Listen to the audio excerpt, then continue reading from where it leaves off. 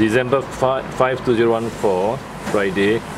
This Florida golf course terrapin came in yesterday with swollen eyes. There was a change of uh, management by the owner in the sense that he shifted house and uh, there's a change of routine. So the eyes became swollen. Now you notice that the left eye there is a small pimple on the lower eyelid. But the right eye the right eye is uh, a bit better less swollen. And uh, overall we are treating it here. What happened was uh, probably the water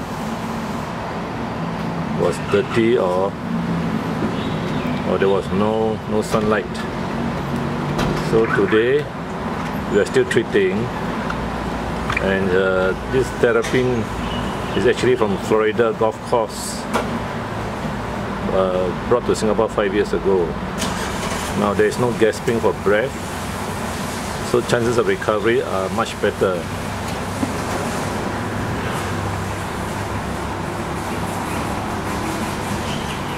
weighs about 500 grams.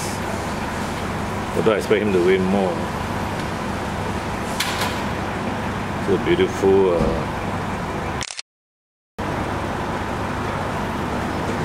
looks okay.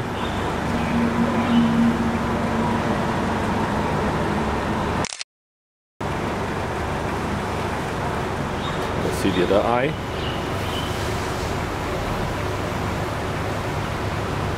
the eyes are swollen.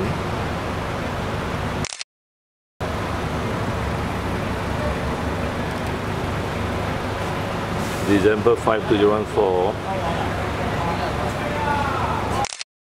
9 a.m. Papaya Vets. The shell is in good shape. Overall this this male terrapin look at the long nails this male terrapin is has been well looked after. It's the first time he has swollen eyes.